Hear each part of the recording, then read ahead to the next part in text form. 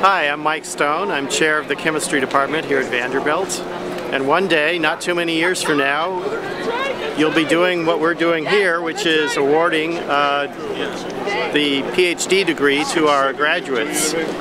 This year we've got 22 PhD degrees being awarded in chemistry, every one of which I'm very proud of, and who are going on to careers in academia, in industry, uh, and in uh, the government sector.